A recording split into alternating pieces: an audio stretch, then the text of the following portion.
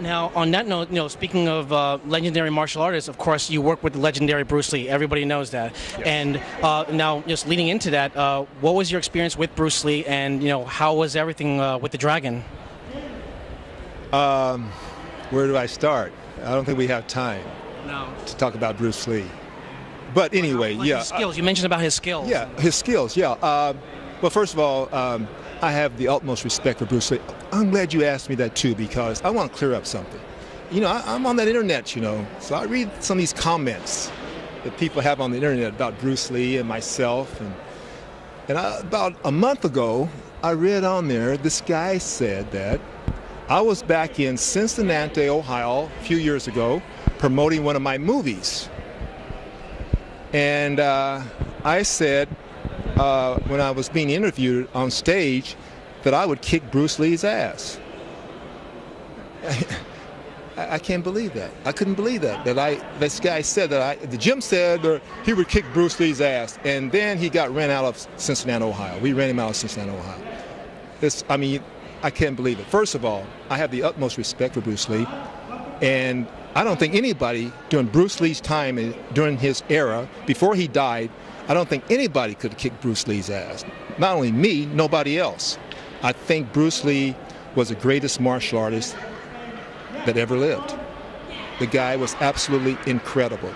The greatest martial artist that ever lived, as far as I'm concerned. And like when you obviously there's a lot of pictures with you sparring or just you know promotional shots with him and working out. What was that like? I mean, it must have been an incredible experience to see him in action.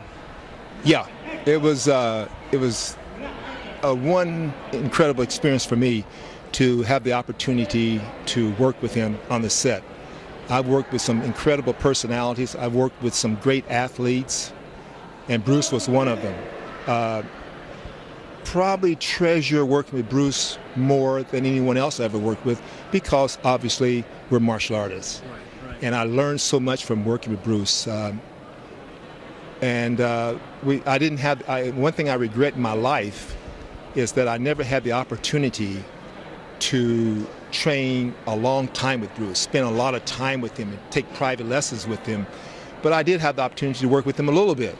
And uh, Jeet in his system, yes, in his system. Uh, uh, and he was checking my style out. As a matter of fact, Bruce uh, saw me throw my backhand, and uh, I never said I, I've never told him about this before publicly, but uh, when we were working out a little bit together, he and I, he said, "Jim, who taught you that backhand? You have the fastest jab."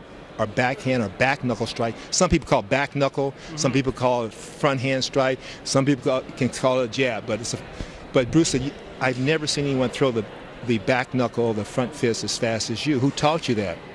And I said, um, actually, uh, Gordon Doversola uh, from Okinawa-Te. And uh, I found out later, Bruce used to take private lessons from Gordon Doversola from Okinawa-Te. And I didn't know this. So uh, in, in one sense, Bruce was like, he knew how many people could teach Jim throw that backhand, that back fist that fast. So he had, a, he had an idea. It must be somebody like Gordon Doversola. So, um, and also, uh, I, I could share some things about Bruce, but uh, maybe I better save them for my book. Okay. and speaking of the book, so